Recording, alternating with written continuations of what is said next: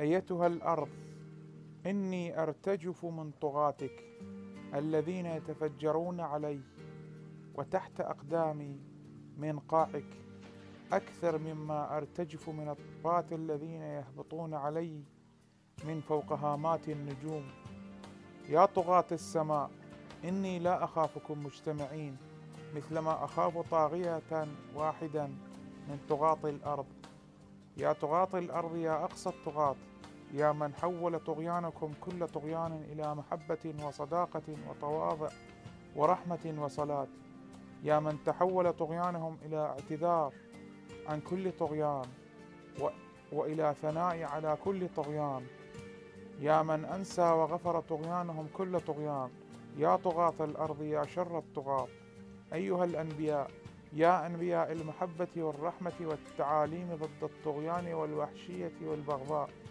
أيها الأصدقاء أيها الرحماء أنتم أكثر وأشد الأعداء حقدا وبغضا. أنتم أقسى الطغاة إذلالا وتحقيرا وإرهابا وتحطيما للمغلوبين والضعفاء. إذا انتصرتم أنتم قتلة. كل محبة ورحمة وتسامح. إذا انتصرتم إذا فلا تنتصروا أيها الأنبياء. إنا نضرع إليكم أن لا تنتصروا. يا أنبياء المحبة والرحمة والإنسانية والتعاليم النبيلة. لا تنتصروا. لا تنتصروا. إنا نتضرع إليكم لا تنتصروا. لا تنتصروا. لا تنتصروا. إنا نتضرع إليكم ألا تنتصروا. لا تنتصروا. يا من تصوروا الجحيم للإنسان وأرادوه له لأنهم يحبونه. يا من طالبوا الإله بأن يعد الجحيم للإنسان. التقوى والنظافة في لسان الواعد وظيفة واستعطاء وفي لسان الضعيف عزاء وأنين وفي لسان الفاجر ذكرة وهجاء ذكرى وهجاء وفي لسان التقي أمنية واعتذار. أما أما في لسان النبي فموهبة وعظية ولغوية وتأريخية. وأما في لسان الطاغية فسخرية وتهديد. وأما في لسان الشيطان فتذكير للإله وللإنسان بهزيمتها وضياعها.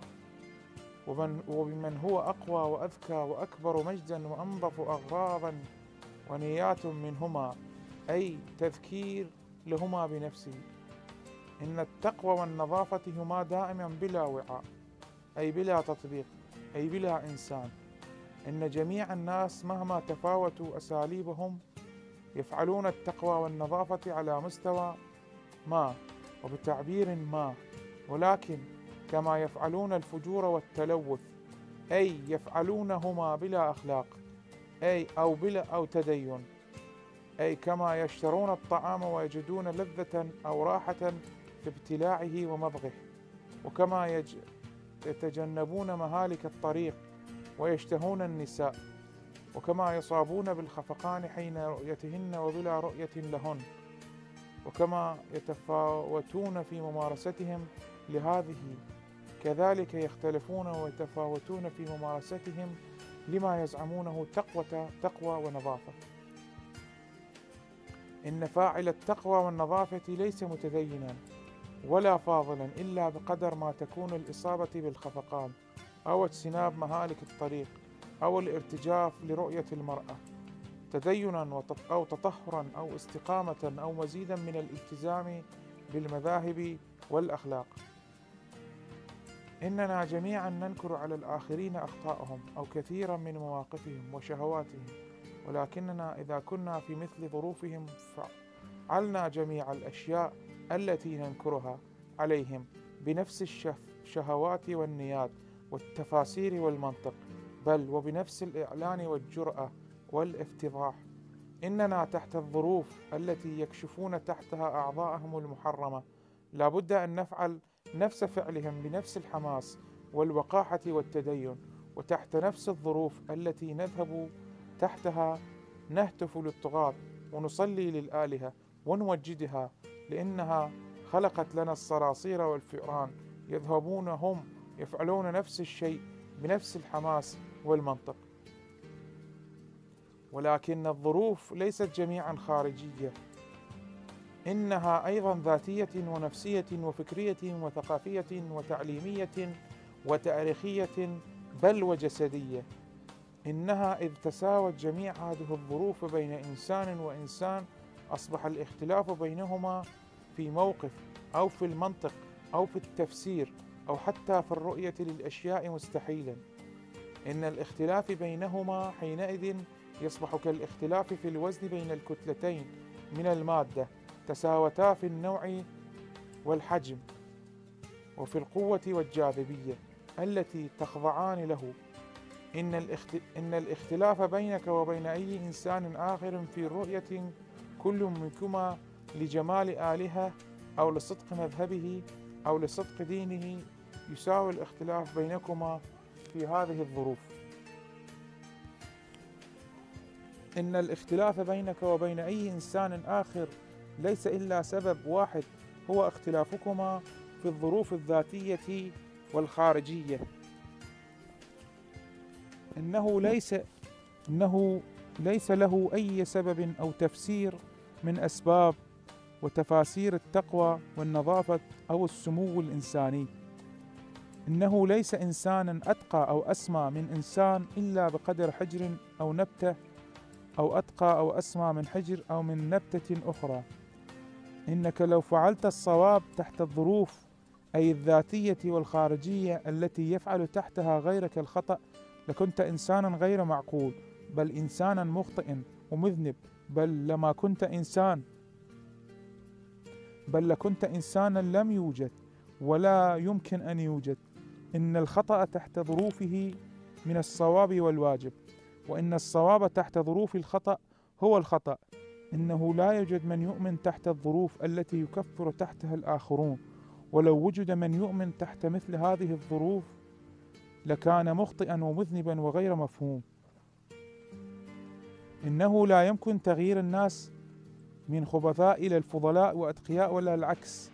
وإنما يمكن تغيير ظروفهم أي الخارجية والذاتية وتغيير تعبيراتهم وأساليبهم أي تغيير أزيائهم ولغاتهم وأساليب وصيغ وأدوات ومواصلاتهم وممارساتهم ومعاملاتهم.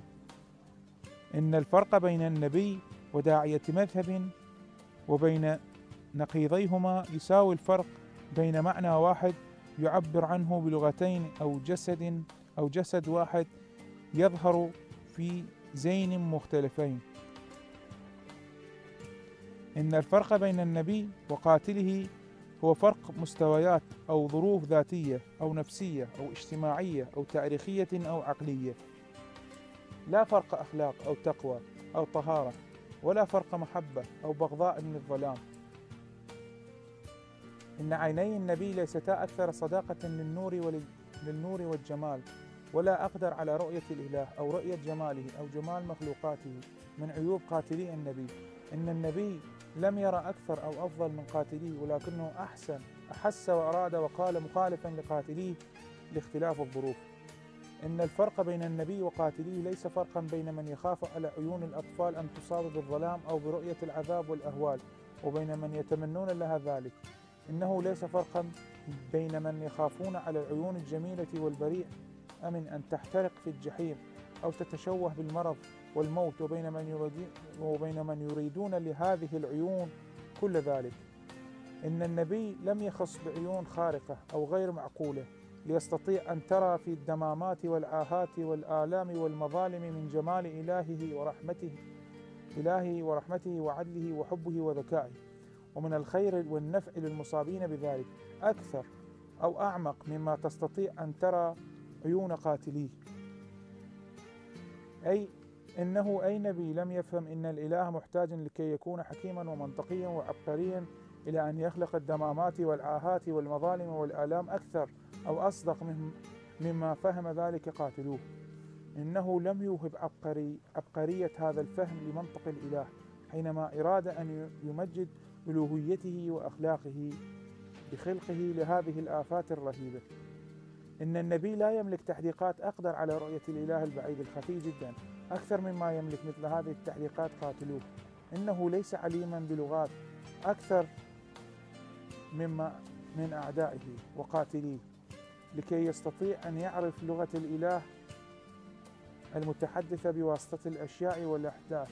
أكثر مما يستطيع أن يعرفها قاتلوه وأعداه إنه لم يتعلم هذه اللغة في معهد ولم يتعلم فيه أعداؤه ورافضوه.